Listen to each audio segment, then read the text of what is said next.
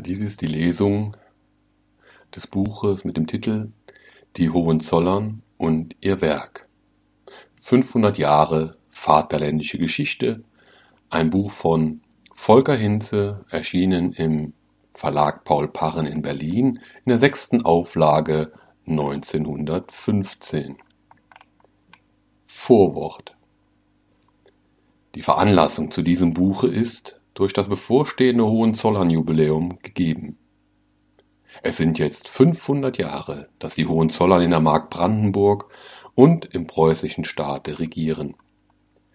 Am 30. April 1415 erhielt der Burggraf Friedrich von Nürnberg, der seit 1412 als oberster Hauptmann und Vermesser in der Mark Brandenburg waltete, durch eine Urkunde von König Siegmund die Markgrafschaft samt der Kurwürde übertragen und wurde damit erst zum wirklichen Landesherrn. Und am 21. Oktober desselben Jahres empfing er in Berlin die feierliche Erbhuldigung der märkischen Landstände. Infolge der Zeitumstände ist der letzte Tag für die Feier dieses Jahres bestimmt worden. Der Verfasser hat geglaubt, sich der an ihn ergangenen Aufforderung, zu dieser Erinnerungsfeier eine kurze preußische Geschichte in einem Bande zu schreiben, nicht entziehen zu sollen, obwohl ihm die Schwierigkeit, zugleich den wissenschaftlichen Anforderungen und den Ansprüchen eines weiteren Leserkreises gerecht zu werden, nicht verborgen war und im Fortschritt der Arbeit sich oft als unüberwindlich zu erweisen schien. Leichter und wohl auch befriedigender wäre es wohl gewesen, den Gegenstand in drei bis vier Bänden statt in einem zu behandeln oder bei der gebotenen Beschränkung auf einen Band sich in allgemeinen historisch-politischen Betrachtungen zu ergehen, die das tatsächliche Mehr nur andeuten oder voraussetzen, als wirklich erzählen. Dem Verfasser schien es indessen nützlicher, den Versuch zu machen, soweit es der Raum gestatten wollte, Erzählung und Betrachtung miteinander zu verknüpfen und nicht den Leser zu zwingen, sich über das Tatsächliche noch anderswo zu unterrichten. Dass er dabei bemüht gewesen ist, sich in möglichst enger Fühlung mit den Quellen zu halten, wird hoffentlich, hoffentlich, wird hoffentlich auch ohne Noten zu spüren sein. Der Kundige weiß, in welchem Maße und mit welchen Beschränkungen dies bei der Ausdehnung des Gegenstandes und bei der Art und Masse des Quellenstoffes überhaupt möglich ist. Der Gedanke, fortlaufende Nachweisungen und quellenkritische und bibliographische Art herbeizufügen, wie es etwa in dem vierten Bande von Hofers Friedrich-Biographie in vorbildlicher Weise geschehen ist, musste aufgegeben werden, weil der Rahmen des Bandes dadurch gesprengt worden wäre. Der Verfasser hofft indessen, dass das Buch auch so beim Fachstudium mit Nutzen gebraucht werden kann. An Quellen und Literaturnachweisen mangelt es ja für die preußische und deutsche Geschichte nicht. Das Werk, das Werk war schon im Satz und großen Teil auch im Druck vollendet, als der Krieg ausbrach.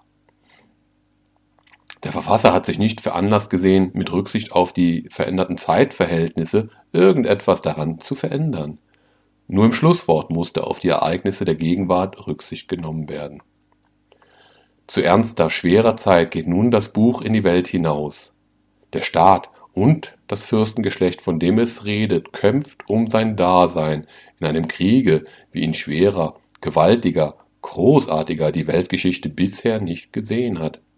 Die politische Eigenart unseres Volkes, die straffe militärisch-monarchische Zucht, die Preußen und Deutschland allein befähigt hat, in der Mitte des europäischen Festlandes, umdrängt von starken und oft missgünstigen Nachbarn sich ein selbstständiges Dasein zu erringen und dem deutschen Namen Achtung in der Welt zu verschaffen, dieser politische Charakter, der die Frucht eines langen historischen Erziehungsprozesses darstellt, ist in dem Kampf der Geister, der heute über den Schlachtfeldern geführt wird, namentlich in einer massenhaften, aber eintönigen englischen Literatur zum Gegenstand einer so giftigen und hasserfüllten Anfeindung und Verleumdung gemacht worden, dass uns dadurch erst recht die Augen geöffnet worden sind zur Erkenntnis der Bedeutung, die dem preußischen und deutschen Wesen und dem Werke der Hohenzoller in der Weltgeschichte und in dem Völkerleben der Gegenwart zukommt.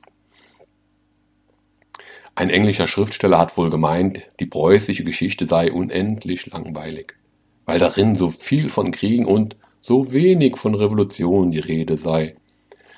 Wir verzichten gern auf den pikanten Reiz, welchen der englische Autor an unserer Geschichte vermisst. Ein deutender Kopf wird mehr Befriedigung dabei empfinden, sich klarzumachen, wie unsere inneren Zustände in Verfassung und Verwaltung geworden sind und warum sie so und nicht anders werden mussten. Jedes Volk muss sich vernünftigerweise mit der inneren Struktur seines Staatswesens den äußeren Bedingungen seiner politischen Existenz anpassen. England in seiner insularen Sicherheit kann unter gewöhnlichen Umständen mit einem sehr geringen Maß von Staatszwang auskommen und hat daher die parlamentarische Regierungsform ausgebildet, die fälschlicherweise für das allgemeingültige Schema der Regierung eines freien, modernen Volkes überhaupt ausgegeben worden ist. Wir dagegen haben bei unserer gefährdeten Mittellage zwischen den stärksten Mächten des Kontinents eine andere Art von Regierungsverfassung nötig gehabt, eben die monarchisch-militärische, die in der Hauptsache ein Werk der Hohenzollern ist und die der Unverstand und die Böswilligkeit unserer Gegner, unterstützt durch den demokratischen Fanatismus in allen Ländern, als eine Gefahr für die Welt, als etwas schlechthin Böses und der Zerstörung Würdiges verleumdet und brandmarkt. Allerdings erleben wir die Genugtuung, dass der Militarismus, den man bei uns ausrotten will, vielmehr auch seinen prinzipiellen Gegnern allmählich anfängt, im Lichte einer bitteren, aber vielleicht unvermeidlichen Notwendigkeit zu erscheinen. Bei dieser Lage der Dinge mag es heute besonders nötig sein, das Werk der Hohenzollern, so wie es ist, der Welt vor Augen zu stellen. Das geschieht hier in einer schlichten, leidenschaftslosen Darstellung. Es ist keine Apologie, die hier geboten wird, sondern eine einfache Geschichtserzählung. Anmerkung des Vorlesers. Apologie ist die systematische Verteidigung und Rechtfertigung einer Lehre. Es ist auch kein Panegyrikus, trotz des festlichen Anlasses, sondern ein Buch, das vor allem nach wissenschaftlicher Wahrhaftigkeit strebt. Anmerkung 2. Ein Panegyrikus war in der Antike eine prunkvolle Rede aus festlichem Anlass, in der frühen Neuzeit war es eine Bezeichnung für Lobschriften auf einen Herrscher oder ein Herrschergeschlecht. Wir hoffen, dass auch in der Erregung der Gegenwart der Sinn für die vorurteilsfreie Betrachtung der Vergangenheit nicht verloren gegangen ist. Er wird auch dazu helfen, die großen Dinge, die wir erleben, recht zu verstehen und in guten und schlimmen Tagen mit dem Glauben an die Zukunft unseres Volkes und unseres Vaterlandes auch die Treue gegen das angestammte Herrscherhaus zu stärken, das jetzt ein halbes Jahrtausend hindurch mit deinen Schicksalen verbunden ist. Berlin, den 27. Juli 1915. Otto Hinze